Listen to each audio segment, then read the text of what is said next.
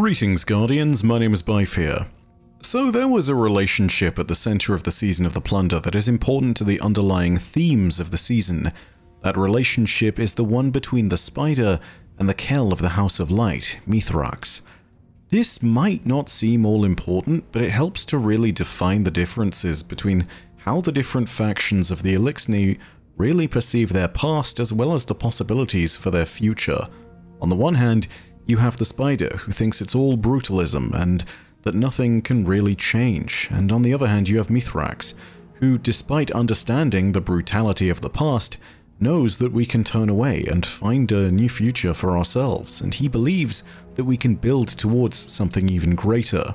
But philosophical differences aside, I wanted to try and give you all a look at the relationship of Rakis and Mithrax, so that you would better understand them as a pair. So in the season, we already discussed a lot of the story behind the early days of Rakis, Civix, and Mithrax. They were all brought up in the same time of the Whirlwind and were in their infancy at the time of the discovery of the Sol system. Most crucially though, they were able to benefit from Mithrax's mother and her desecration of the body of Nezarec. As I'm sure you all know, one of the relics of Nezarec was passed on to Mithrax, who used it to plunder and pillage his way across the system. During this time, both Rakis, also known as the Spider, and his brother Civix, who would one day become the leader of a faction known as the Kell Scourge, were at his side, essentially acting as his top lieutenants. This, however, would all change at a point when the Spider grew too powerful for his post, or rather, defied Mithrax in that moment. In the cutscene with Mithrax, we can see him openly marooning Eliksni forces on an asteroid in the middle of nowhere, while Rakis and Civix stand behind him in shock. As it turns out, this was a fate that befell the spider as well. We know this thanks to the Castaways shell from this season, the lore tab of which reads as follows. If Mithrax and I have one thing in common, Spider rumbled, it's that we keep an eye toward the future. He turned a delicate ghost shell over in his massive claw, admiring its Eliksni styling. Even when we lived from one raid to the next, stealing from anyone who crossed us, we always dreamed of more. He stared into the middle distance, briefly lost in reverie, including a place we could call home, outside of that filthy ketch. As it happened, Mithrax eventually granted me a whole planetoid of my own. He chuckled ironically to himself just not in the way I had hoped. When I was finally picked up, I was no longer a raider wanted throughout the system. He opened his arms wide, palms up. I became Spider, a simple merchant with a bounty to collect. In hindsight, getting marooned on that forsaken rock was the best thing that ever happened to me. He shrugged noncommittally. Maybe being stranded in the last city will serve me just as well. Now, the other side of the story can be seen from Mithrax's perspective in the fourth entry of the Above All Else lore book. This lore entry reveals the exact reason why the spider was marooned. Take a listen. We discovered a ship full of human usurpers, hiding behind one of the moons of a dusty red world they called Mars. Generations of survivors cowering on a derelict colony ship since the Great Machine failed them. Civix, Rakis, and I led the raiding party that boarded their vessel. The humans were malnourished and pitiful, yet they still tried to fight us. The battle was short and brutal. I watched Rakis rip a usurper's arms out of the sockets and throw them to the floor. He was so strong back then. We all were. Our growing ether shares were intoxicating, as was the bloodlust of unrestricted violence. Rakis was massive, even then. Stronger than all of us. One of the human champions, if they could be called such, challenged Rakis.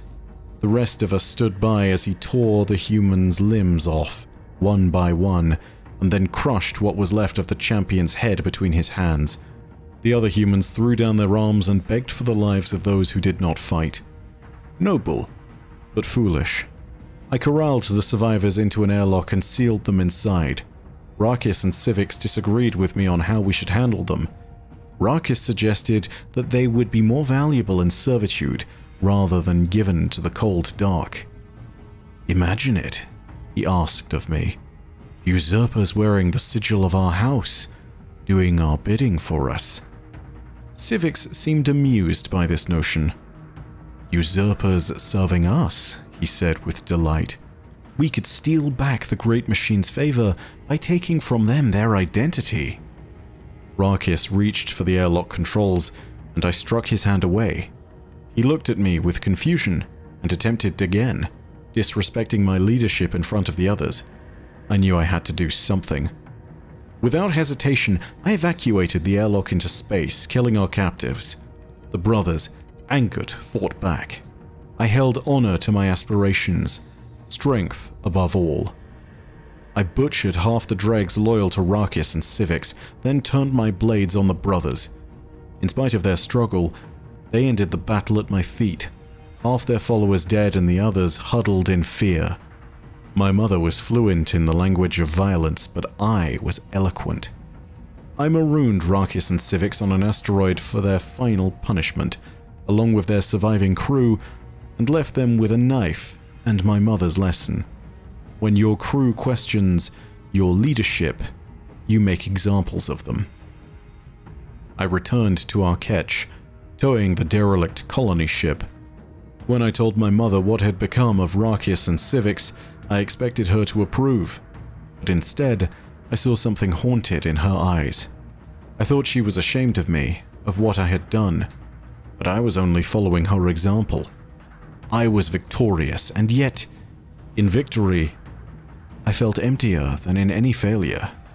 It was not until much later that I realized the truth. My mother was not ashamed of me. She was ashamed of herself. Much like the creature of his namesake, it turns out that the spider is a survivor. Surviving being marooned in the middle of space on a derelict asteroid is something that should tell us all about the grit that this one Eliksni has. One can hardly blame the spider for his tendencies when he survived such a close brush with almost certain death. Having killed off Rakis, the spider clearly became a creature that resented authority that could impede him, but he also specifically hated the idea of Kells.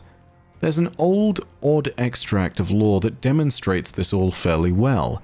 One of his key fixers, an Eliksni known as Avrok, arrived in a fashion and with a determination that immediately put him in the spider's good graces.